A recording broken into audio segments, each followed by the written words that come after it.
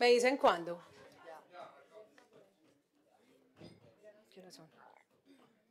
Muy buenos días para todos y para todas. Hoy sábado primero de octubre de 2022, siendo las 8 y 28 am, damos inicio a la sesión plenaria ordinaria número 095 de 2022. Hoy vamos a tener la instalación del periodo ordinario de sesiones correspondientes a octubre y noviembre de 2022 por parte del señor alcalde. Saludo muy especial para mis compañeros de la mesa directiva Juan Pablo Montoya, Sara Caterina Rincón Ruiz, a nuestro alcalde Braulio Espinosa Márquez, a nuestra concejalita María Paulina Acosta Peña, a mis compañeros concejales que se encuentran en el recinto, a la doctora Lucrecia Londoño Builes de la Contraloría del municipio de Envigado, a los secretarios de despacho, jefes de oficina y gerentes de entes descentralizados que nos acompañan el día de hoy, a la doctora Paula y a todo el equipo de trabajo, a las personas que nos están viendo a través de las redes sociales y a toda la comunidad en general, a la directora de Hogar Amigo Fiel, Jennifer Tobón Sánchez, que nos está acompañando también, y a todas las especies también que se encuentran hoy en el recinto. Estamos muy felices de poder tenerlos aquí hoy. Hoy rápidamente les voy a hablar del ibis gigante. Es un ave que forma parte de la lista de los animales más raros del mundo.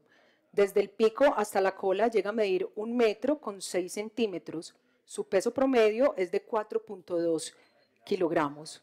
Con respecto a su plumaje, es de color gris y marrón oscuro en los adultos. Los ojos son de color rojo oscuro, mientras las patas son de color naranja. Todas estas tonalidades representan el contraste de colores magníficos. Otras de las principales características de esta ave rara es su pico de color amarillo, curvado y largo. Puede vivir en lagos, ríos, pantanos, bosques abiertos y llanuras. A todos estos hábitats se adapta muy fácilmente. Desde el año 2014, el ibis gigante forma parte de la lista roja de la Unión Internacional para la Conservación de la Naturaleza en la categoría en peligro crítico y es considerada el ave más amenazada del mundo. El hombre es el principal depredador de esta enorme ave al deforestar las áreas donde habita y modificarlas con fines agrícolas. Señora secretaria, sírvase verificar el quórum nominal. Con sus buenos días, señor alcalde Braulio Alonso Espinosa Márquez. Bienvenido al recinto de la democracia. Un saludo muy especial para la presidenta del Consejo, Juliana Andrea Álvarez Salazar. Un saludo muy especial para el la vicepresidenta segunda, Sara Caterina Rincón Ruiz. Un saludo muy especial para el vicepresidente primero, Juan, eh, segundo, Juan Pablo Montoya Castañeda. Para los honorables concejales que se encuentran dentro del recinto, Lucas Gaviria Nao, Carlos Augusto Sabetancur, Juan Uribe, Juan Carlos Vélez, Leo Alexander Alzate Suárez, David Alfonso Londoño Arroyave, Gonzalo Mesa Ochoa, José Luis Maldonado Sánchez, Bernardo Mora Calle, Carlos Manuel Uribe Mesa, Sergio Molina Pérez, Johnny Osvaldo Vélez Quintero y Paulo Andrés Restrepo Garcés. Un saludo muy especial para la Contralora Municipal, quien hace presencia en el recinto de la democracia, Lucrecia Londoño Huiles, un saludo muy especial también para la jefe de oficina asesora jurídica María Camila Díez Castaño, para las personas que se encuentran en las barras, también un saludo muy especial para nuestra presidenta concejalita que se encuentra hoy con nosotros, para las personas que diariamente nos siguen por las redes sociales y para las personas que se encuentran en las barras, para el equipo del Consejo Municipal. Muy buenos días. Procedo a llamar a asistencia, señora presidenta. Juliana Andrea Álvarez Salazar. Presente. Sara Caterina Rincón Ruiz. Presente. Juan Pablo Motoya Castañeda. Muy buenos días, Juan Pablo presente. Buenos días. Leo Alessandra Alzate Suárez. Muy buenos días, presente. Buenos días, Efraín Echeverri Gil. Lucas Gaviria Nao. Gaviria Nao Lucas presente, señora secretaria. Un feliz día para todos. Feliz día, David Alfonso Londoño Arroyave. Muy buenos días para todas y todos. David Londoño presente, señora secretaria. Buenos días, José Luis Maldonado Sánchez. Presente y muy buenos días para todos y todas. Buenos días, Gonzalo Mesa Ochoa. Muy buenos días para todos, para todas. Presente, señora secretaria. Buenos días, Sergio Molina Pérez. Buenos días, presente. Buenos días, Bernardo Moracalle. Presente y buenos días para todos y todas. Carlos Augusto Osa Betancourt. Buenos días, presente. Paula Andrés Restrepo Garcés. Muy buenos días para todos. Restrepo Pablo presente. Carlos Manuel Uribe Mesa. Carlos Manuel Uribe Mesa, presente. Juan Fernando Uribe Restrepo. Muy buenos días para todos. Juan Uribe presente. Juan Carlos Vélez Mesa. Doctora Paula, muy buenos días para cada uno de ustedes. Vélez Mesa, Juan Carlos, presente. John Osvaldo Vélez Quintero. Muy buenos días, presente, señora secretaria. Señora Presidente, con sus 16 concejales presentes y un concejal ausente y quórum para deliberar y decidir. Sírvase a dar lectura al orden del día, por favor. Sí, señora, inmediatamente. Primero, himno del municipio de Envigado. Segundo, instalación del periodo ordinario de sesiones correspondientes a octubre, a novie- octubre y noviembre de 2022 por parte del doctor Braulio Espinosa Márquez, alcalde municipal de Envigado. Tercero, lectura de comunicaciones. Cuarto, observaciones y proposiciones. Señora Presidente, se encuentra leído el orden del día en toda su integridad. Pongamos a consideración el orden del día nominal. Julián Andrea Álvarez Salazar. Sí al orden del día. Sara Caterina Rincón Ruiz. Sí, al orden del día. Juan Pablo Montoya Castañeda. Sí al orden del día. Leo Alexander Alzate Suárez. Sí al orden del día. Efraín Echeverry Gil. Lucas Gavirianao. Sí al orden del día, señora secretaria. David Alfonso Londoño Arroyave. Voto sí. José Luis Maldonado Sánchez. Sí al orden del día. Gonzalo Mesa Ochoa. Sí al orden del día. Sergio Molina Pérez. Sí al orden del día. Bernardo Mora Calle. Sí. Carlos Augusto Osa Betancourt. Osa Carlos, sí. Pablo Andrés Restre- Restrepo Garcés. Restrepo Pablo sí. Carlos Manuel Uribe Mesa. Carlos Manuel Uribe Mesa, sí al orden del día. Juan Fernando Uribe Restrepo. Juan Uribe sí al orden del día. Juan Carlos Vélez Mesa. Doctora Paula, Vélez Mesa, Juan Carlos, sí al orden del día. John Osvaldo Vélez Quintero. Sí al orden del día, señora secretaria. Señora Presidente, con sus 16 concejales por el sí al orden del día y un concejal ausente. También quiero saludar a- al director de Bienestar Animal y a todo su equipo de trabajo también que nos está acompañando hoy. Y las personas de medio ambiente. Comencemos eh, con el orden del día. Primero, himno del municipio de Envigado.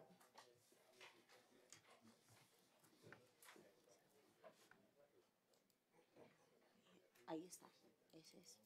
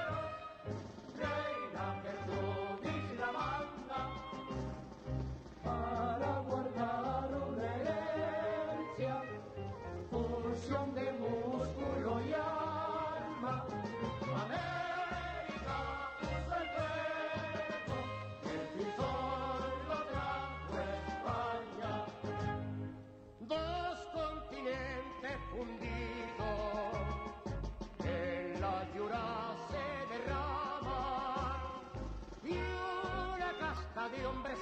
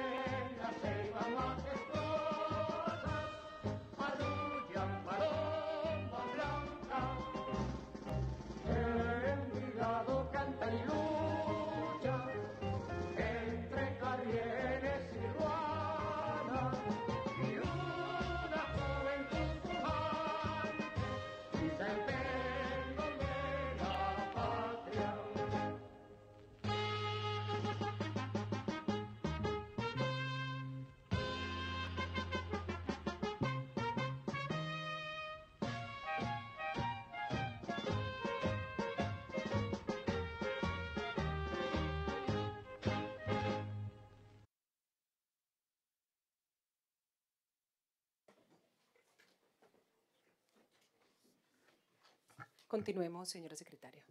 Segundo, instalación del periodo ordinario de sesiones correspondiente a octubre y noviembre de 2022 por parte del doctor Braulio Espinosa Márquez, alcalde del municipio de Envigado. Alcalde, bienvenido de nuevo otra vez al recinto. Ahora lo escuchamos entonces para las instalaciones del periodo de las sesiones de octubre y noviembre de 2022.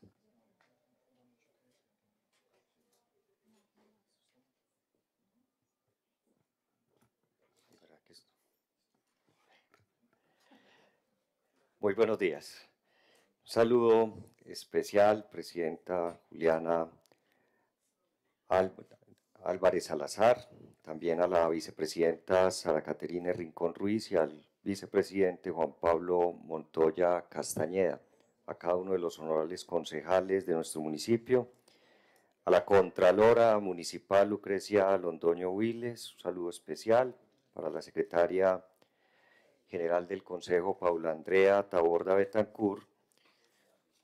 Un abrazo y un saludo especial para María Paulina Acosta Peña, presidenta de los concejalitos, para todos los funcionarios del Consejo Municipal, las personas que nos acompañan en las barras, para todos los que hacen parte de la Dirección de Bienestar Animal y para su director, Lioner, que han hecho un gran trabajo en Envigado para proteger no solamente los animales de compañía, sino también la fauna silvestre.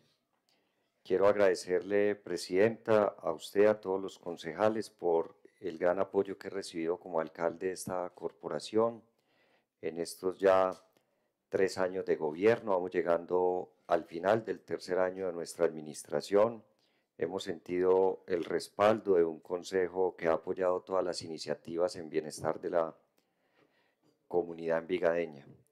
Y en este día quiero referirme de manera muy puntual a lo que es el avance de las instituciones educativas en nuestro municipio. Hemos tenido un avance muy importante. La normal superior, debería estar, según el cronograma, en un 72.19% de avance. A la fecha vamos en un 72.82. Estamos adelantados en el cronograma y si todo sale bien se entrega a finales de diciembre de este año totalmente terminada. Pero es una muy buena noticia que esta institución de 10.400 metros cuadrados que es la más grande del territorio envigadeño, esté ya por encima del 70% de avance. Ya falta poco para poder tener esta institución funcionando. Esperamos que en el año 2023 los estudiantes estén en la normal. Estamos eh, haciendo el cálculo de la dotación. La dotación de este colegio vale más de 2 mil millones de pesos. En los próximos días es muy posible que se dé una cita entre el municipio y el ministro de Educación para tratar el tema de la dotación de esta institución, porque siempre es un valor bastante elevado y no podemos inaugurar esta obra pues con los pupitres, los muebles eh, que ya están bastante usados, debería inaugurarse la obra con todo nuevo, pero si el ministerio no ayuda, algo haremos desde el municipio, pero la idea es inaugurarla con todo absolutamente nuevo, biblioteca, laboratorios, muebles y sillas totalmente nuevas, como lo hicimos en la Alejandro Vélez y como lo vamos a hacer en la José Miguel de la Calle. El Salado es la obra que está en un 40%. El Salado se debe entregar en el primer semestre del 2023 pero ya salimos de lo más difícil, que fue realizar el muro de contención para la vía, hacer las pilas, y es una obra que me tiene contento, tranquilo, porque en un 40% es un avance muy significativo, es una obra de las más complejas que tenemos en Envigado, porque no teníamos el lote, tocó hacerlo. Eso fue muy complejo de verdad, pero se logró y ya vamos hacia adelante. Si ustedes pasan por el salado, ven el avance de esta institución, que es demasiado evidente. Es un avance muy significativo. La John F. Kennedy es una obra que va supremamente bien. Debería estar en cronograma en el 1569 y está a la fecha en el 1633. Va por encima del cronograma proyectado, programado.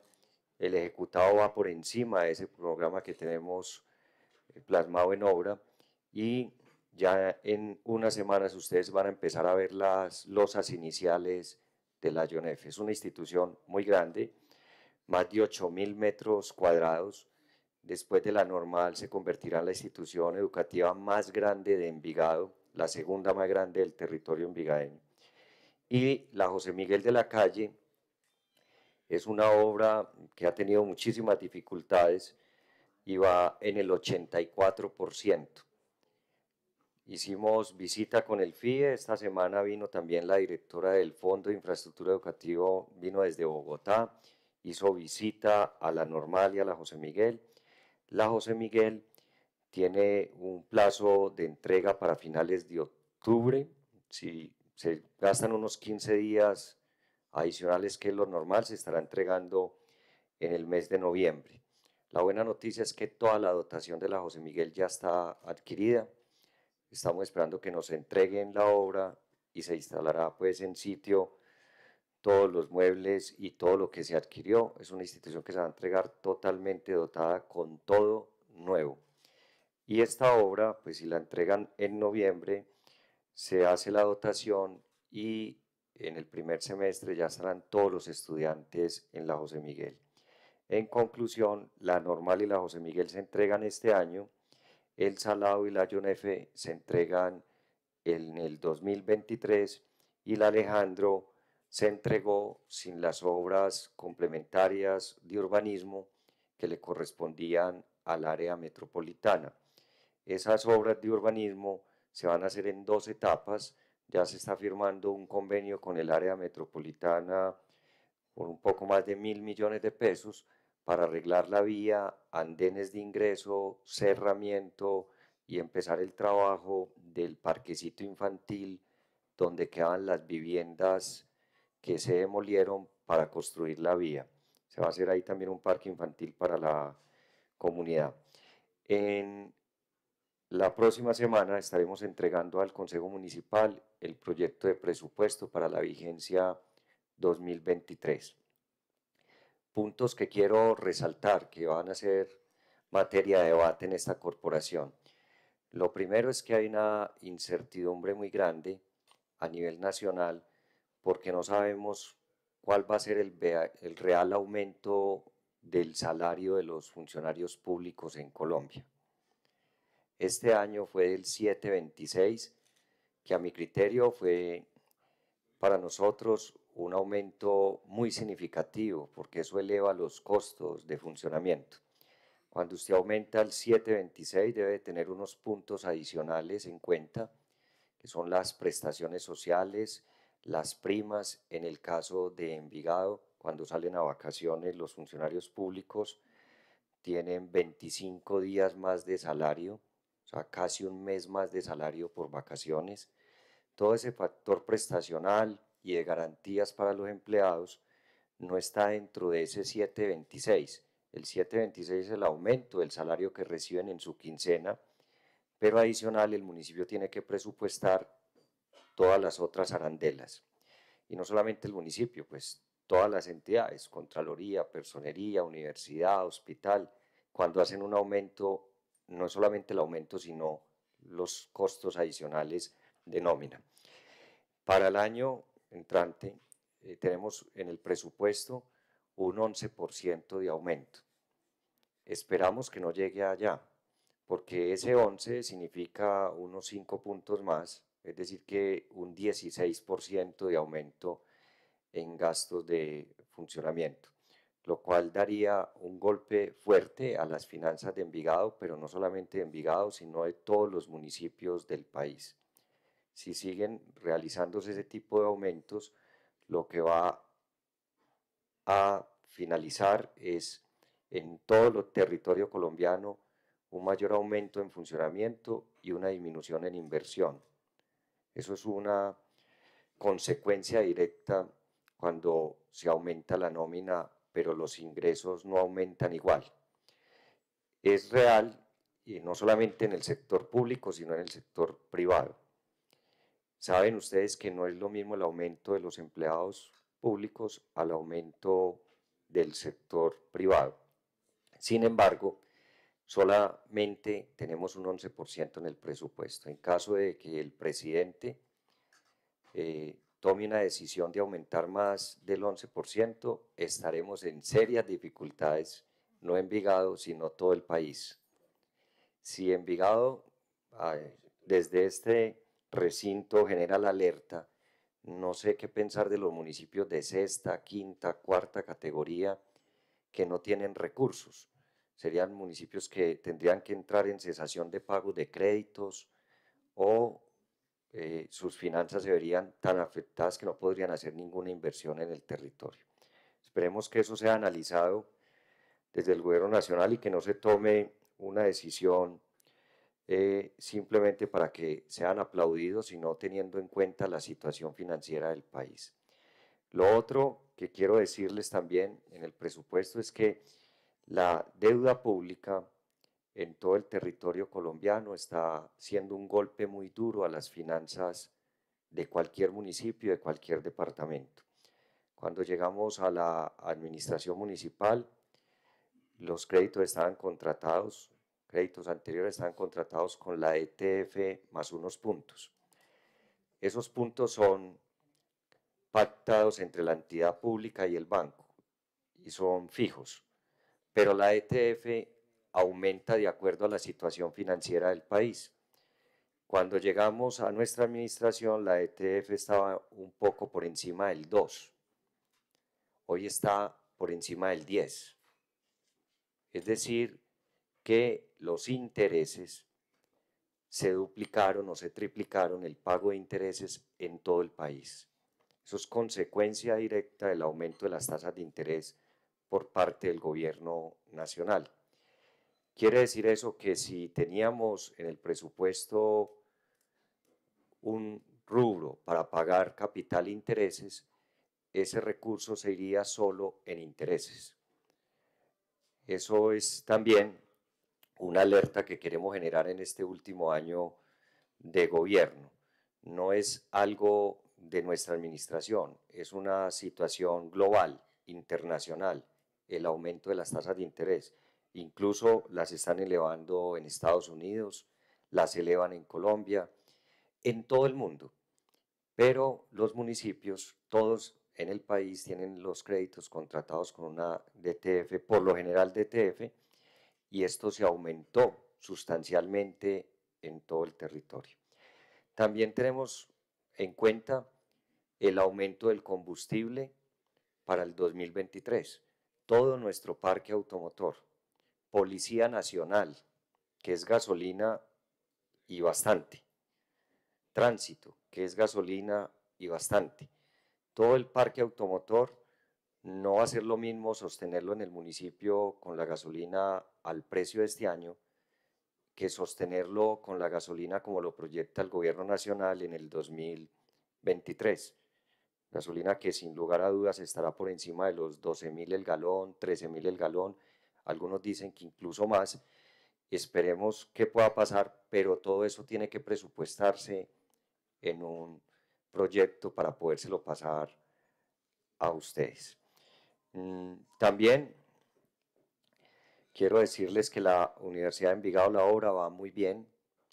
Eh, estamos saliendo de la mayor dificultad que hemos tenido en una obra pública. Esa obra, al realizar dos sótanos, nos encontramos con una situación bien compleja en el terreno, ya se logró sortear, ya estamos saliendo de lo más difícil.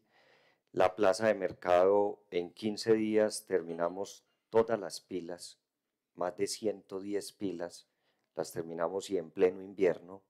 Ayer hice una visita con los comerciantes y tengo programado hacer una visita con el Consejo Municipal a algunas obras, los que nos quieran acompañar. Caso Universidad de Envigado, caso Plaza de Mercado y caso Parque Acuático Infantil. El Parque Acuático Infantil va muy bien. eh, estamos en la etapa más compleja que es la ampliación de la cobertura de la quebrada La Mina, que va a durar unos meses para poder avanzar en la obra. Muchos envigadeños no saben que en el parque infantil se tenía una cobertura de un tamaño importante y para poder hacer la obra del nuevo parque acuático se debía de ampliar en su capacidad para evitar problemas en el futuro. Eso alguien puede decir que es la plata enterrada, porque no se ve, no dice dónde está la plata, pero yo quiero llevar al Consejo y ojalá la Contraloría nos acompañe en esas visitas eh, para mostrarle lo que se está haciendo. Esa cobertura luego no queda visible, pero hay que dar la inversión. Si no se hace, pues el parque no tiene garantías hacia el futuro y en una temporada de lluvias puede pasar de todo. Y mm, mencionarles también que estuve al tanto de la emergencia de la, del incendio en la fábrica de Icopor. La fábrica de Icopor es una fábrica que lleva 30, 40 años en la zona. Eh, antes que nada, en ese punto estaba la fábrica, no las viviendas.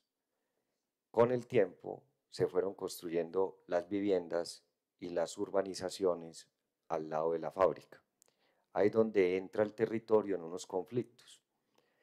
No hemos en nuestra administración, ahí al lado de la fábrica, autorizado ninguna construcción.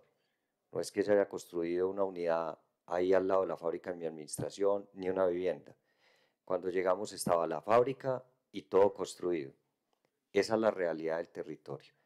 Esta fábrica ya había tenido un incendio hace algunos años, si no estoy mal fue en el 2013, eh, pero no de la proporción que se presentó en esta última eventualidad.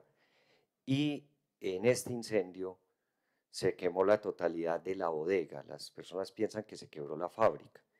No, está la fábrica y más abajo está la bodega. Lo que se incendió fue la bodega, no la fábrica. El punto donde se almacenan eh, los insumos y donde se almacena lo que se produce en la fábrica. Al interior de la fábrica estaban tres vehículos, uno se logró evacuar, dos vehículos pérdida total. Al interior de la fábrica mm, había un viviente, como en un apartamento al interior de la fábrica. La familia perdió la totalidad de sus enseres, de, su, de sus bienes. Eh, ningún trabajador perdió, mm, de, alguna manera, perdió no ningún trabajador tuvo eh, alguna afectación por el incendio y lograron evacuar. Cuando llegó el cuerpo de bomberos, iban a utilizar el hidrante, el hidrante no funcionó. El hidrante está con suministro de agua del acueducto Veredal y no tenía ni la capacidad ni el flujo de agua para poder soportar eh, los carros de bomberos entonces no era cuestión de tener más bomberos ni tener más carros. En algún momento tuvimos los bomberos de Sabaneta, Itagüí, pero no teníamos el suministro de agua. Ese día llamé al señor gobernador, nos ayudaron con cuatro carrotanques de PM, pero ya definitivamente no había nada que hacer. Lo que había era que apagar el incendio para proteger las viviendas a los lados. La semana pasada también estuve porque un muro que quedó debilitado. Eh, sufrió un debilitamiento total, cayó y mm, temporalmente evacuamos dos viviendas hasta revisar eh, la demolición controlada por parte de gestión del riesgo y los propietarios de la fábrica. En mi concepto, lo digo públicamente, vamos a hacer todo lo que esté a nuestro alcance desde el punto de vista legal y la normatividad para evitar que eso se convierta nuevamente en un punto de almacenamiento de insumos altamente inflamables.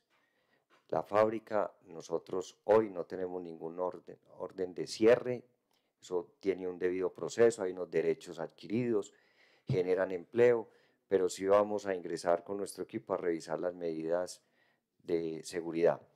Eh, lo que pudimos, lo que se pudo observar ese día es que no tenían una red contra incendios como la necesitaba la fábrica y se pone en riesgo la vida de las familias alrededor de la fábrica. Hay algunas viviendas con mucha afectación a techos, paredes, baños, eh, pero ninguna sufrió un daño estructural grave que tenga que quedarse por fuera la familia o trasladarse a otro inmueble de manera definitiva. Ya gestión del riesgo hizo todo el inventario y estamos en la tarea de apoyar las familias, sobre todo la que perdió todo al interior de la fábrica de Icopor. El Palacio Municipal, la construcción del Palacio Municipal va también muy bien.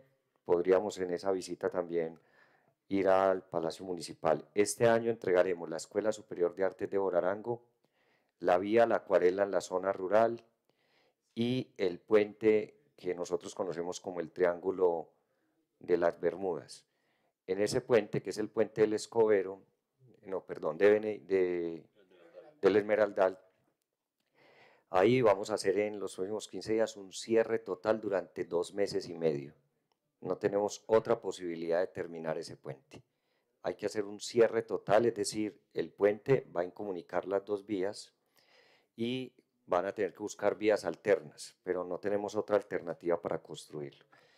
Presidenta, eso es como en términos generales, pues son muchos temas, pero no los quiero demorar más, agradecerles por todo el apoyo y estaré muy atento a las inquietudes de todos los concejales frente al presupuesto del año 2023, después del estudio pertinente por parte de la Comisión de Presupuesto.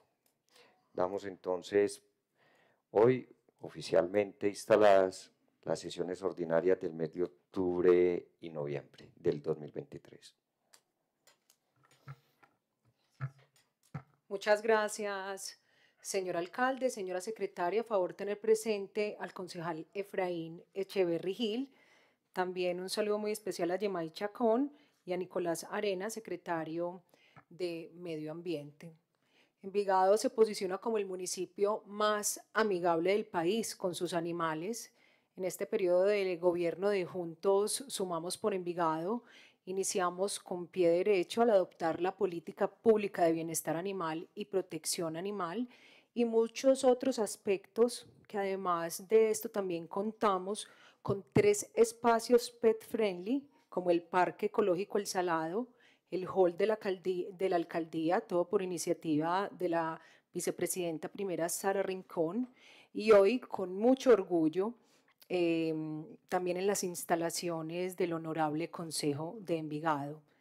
Alcalde, siempre gracias por toda su voluntad con este tema de bienestar animal. Sin usted no habría sido posible una dirección, una inspección y ese apoyo siempre constante con el tema de bienestar y protección animal. Señora secretaria, eh, demos lectura, por favor, a la resolución. Sí, señora.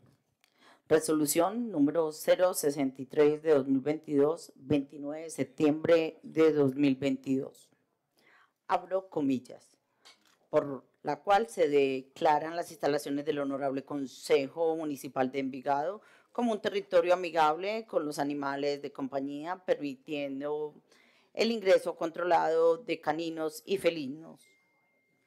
La mesa directiva del Consejo Municipal de Envigado, en uso de sus facultades constitucionales y legales, en especial las conferidas en la Ley 136 de 1994, Ley 1551 de 2012, Ley 84 de 1989, Ley 1774 de 2016, Ley 1801 de 2016, Ley 2054 de 2020 y considerando a. Que los animales declarados por el legislador como seres sintientes, cuenten con un espacio dentro de la sociedad y hacen parte integral de nuestras familias multiespecie. B.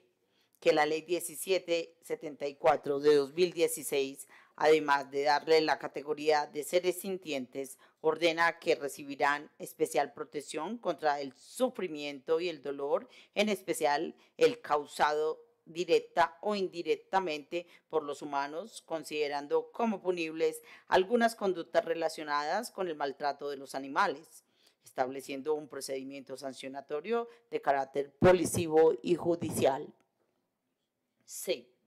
que el artículo 10 de la ley 2054 de 2020, modificado por el artículo 117 de la ley 1801 de 2016, así, inciso primero, artículo 117, tenencia de animales domésticos o mascotas. Solo podrá tenerse como mascotas los animales así autorizados por la normatividad vigente para estos animales, el ingreso o pertenencia en cualquier lugar se sujetará a la reglamentación de los lugares públicos abiertos al público o edificaciones públicas. D. Que el artículo 118 del Código Nacional de Seguridad y Convivencia Ciudadana señala que, artículo 118, caninos y felinos domésticos o mascotas en el espacio público en el espacio público, en las vías públicas, en los lugares abiertos al público y el transporte público en el que sea permitida su estancia, todos los ejemplares caninos deberán ser sujetos por su correspondiente trailla y con bozal debidamente ajustado en los casos señalados en la presente ley para los ejemplares caninos potencialmente peligrosos. Y los felinos, felinos en maletines o con collares especiales para su transporte. E. Que la ley 1801 de 2016, modificada por la ley 2054 de 2020, contiene las sanciones respectivas que se derivan de conductas contrarias a la convivencia en relaciones humano-animales. F. Que mediante el Acuerdo Municipal 039 de 2020, el Honorable Consejo Municipal de Envigado adoptó la política pública de bienestar y protección animal de Envigado, en la cual establece como uno de sus fines la promoción de una coexistencia y convivencia equilibradas humano-animal, reconociendo a los animales como seres sintientes y sujetos de derechos. G que el alcalde municipal de Envigado a través del decreto 093 de 18 de mayo de 2022 reglamentó el ingreso de caninos y felinos a la sede administrativa central del municipio de Envigado. H. Que el Plan de Desarrollo 2020-2023, juntos sumamos por Envigado, aprobado por el Honorable Consejo Municipal de Envigado, contiene uno de sus componentes estratégicos el programa de bienestar animal. En mérito de lo expuesto, resuelve. Artículo primero. Autorícese el ingreso de caninos y felinos a las instalaciones del Honorable Consejo Municipal de Envigado, debidamente acompañados de sus propietarios, tenedores o cuidadores, siempre y cuando porten su, su correspondiente trailla, guacal, para felinos y bozal correctamente ajustado para los ejemplares caninos de manejo especial. Artículo segundo. Todo propietario, tenedor o cuidador que pretenda ingresar a las instalaciones del Honorable Consejo Municipal de Envigado acompañado de un canino o felino deberá presentar el debido carnet de vacunación en medio físico digital y bolsa de recolección de desechos. Artículo tercero toda necesidad fisiológica de los animales que ingresen a las instalaciones del Honorable Consejo Municipal de Envigado será responsabilidad de su recolección, limpieza y correcta disposición de los tenedores, cuidadores y o propietarios. Artículo cuarto. Todo propietario, cuidador y o tenedor de caninos o felinos que pretenda ingresar al Honorable Consejo Municipal de Envigado deberá garantizar la hidratación de dichos animales. Artículo quinto.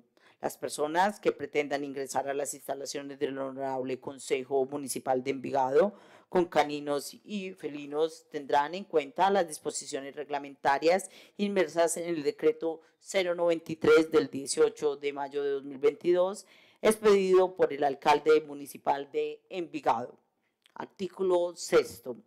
La presente resolución rige a partir del día sábado primero de octubre del año 2022 su expedición y publicación deroga las disposiciones que le sean contrarias. Artículo quinto. Publicación.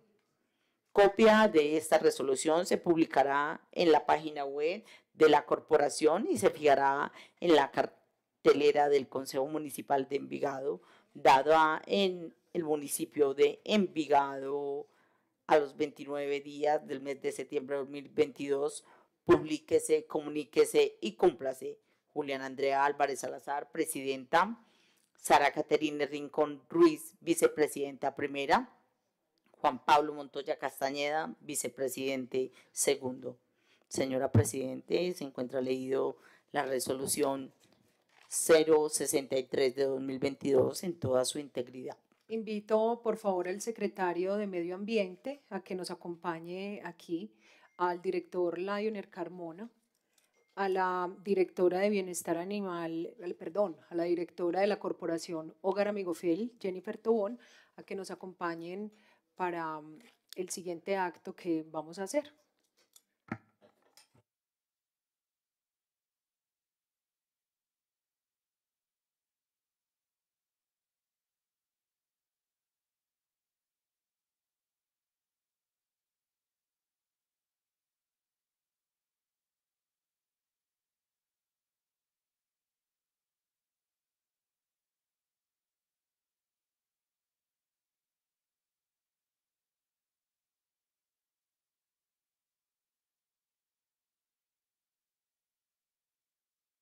Esto tiene la firma de la mesa directiva, pero es muy importante también tener la firma de ellos, que va a ser algo muy lindo y significativo, que va a ser la huellita de los animales que nos acompañan en el recinto el día de hoy.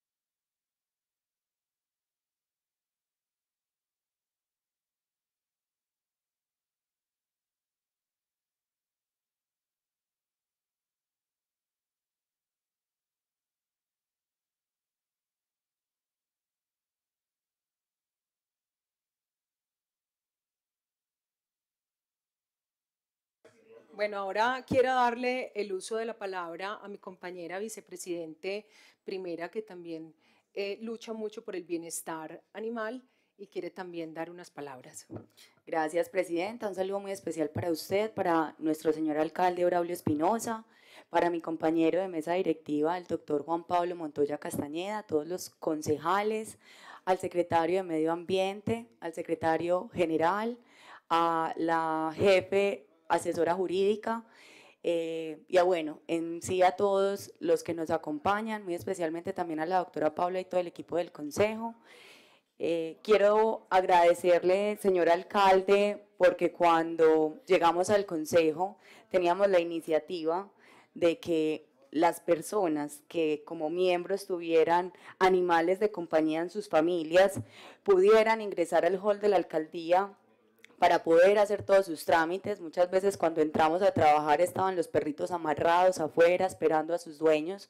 No es para ridiculizar el recinto, ni mucho menos, y menos el hall de la alcaldía, simplemente es para que las personas que tienen animales de compañía puedan ingresar al recinto, puedan ingresar al hall para hacer sus trámites y no tengan que dejar a sus animales de compañía afuera corriendo peligros o con la ansiedad de separación es para aclarar que cuando reglamentamos esta política pública y tuvimos en cuenta que pudieran ingresar los animales de compañía y las mascotas, eh, nos lo hicimos muy bien, creo que pensamos en todo para que aquí no vayan a aparecer caballos ni otras especies, lo reglamentamos con caninos y felinos, viene con la resolución. Con el equipo de la jurídica nos preguntábamos mucho y con el director Lioner que me acompañó demasiado en ese proceso. Director, muchas gracias. Este mérito también es suyo. Eh, lo pensábamos, decíamos, hay, personas que tienen eh, reptiles, hay personas que tienen conejos, hay personas que tienen eh, marranitos, ¿cierto? Animales y mascotas de compañía son muchos y pensábamos precisamente en eso. Entonces, qué bueno que hoy el Consejo Municipal también se suma. A veces venía Laura, eh, una de las asistentes de Lucas, y no tenía con quién dejar su perrito y Orio nos acompañó en muchas oportunidades. Lo mismo ha pasado con Candelaria, con, algunos, eh, con algunas mascotas, sobre todo caninos que han visitado el recinto, y creo que nos ha ido muy bien. Hasta el momento no se ha presentado ningún inconveniente. Obviamente esperamos que la comunidad con este anuncio sea muy responsable Asimismo, como nosotros como gobernantes estamos aquí para pensar, innovar en las nuevas políticas, eh, actualizarnos en el contexto actual de las familias e incluirlos a todos, a todas, a los animales y en fin, a todas las personas que hacen parte de las familias. Entonces también que ellos sientan que este espacio es para ustedes, pero con mucha, mucha responsabilidad. Agradecerle, Presidenta, porque cuando llegué a esta mesa directiva con usted, Muchos pensaron que no nos íbamos a llevar tan bien y lo hemos hecho en un trabajo mancomunado. Me ayudó usted mucho eh, con esta reglamentación, sin el problema de los egos, porque usted lleva muchísimos años trabajando por, esta, eh, por, por los animales, por esta linda causa. Y cuando yo le expresé, usted me dijo, hágale que yo le ayudo. Entonces, eh, me encanta poder hacer parte de esta mesa, de este consejo, que ha sido tan amigable con los animales de compañía, con este alcalde que nos ha escuchado, pero sobre todo con todos los miembros del gabinete municipal que hicieron parte en esta reglamentación, que se sumaron a este proceso y que se ha salido, pues, que ha salido adelante eh, muy bien, pienso que hasta el momento. Muchas gracias, señora presidenta. Gracias, vicepresidente, primero por sus palabras. Eh, doctora Paula, continuemos por favor con el orden del día. Sí, señora. Tercero, lectura de comunicaciones. No se encuentra ninguna comunicación radicada en la Secretaría General del Consejo. Continuemos, por favor, con el orden del día. Cuarto, observaciones y proposiciones, señora Presidente. Sí, le doy el uso de la palabra a la vicepresidente primera, Sara Rincón. Gracias, Presidenta. Como ya eh, saludé, quisiera, señor alcalde, eh, que usted se sumara una ayuda a nuestro barrio El Trianón lo hizo en algún momento usted cuando eh, hacía el programa El alcalde en su barrio, cuando se reunió con el párroco de la iglesia San Ignacio de Antioquía, eh, velando por unos temas de convivencia con algunos comerciantes de la zona.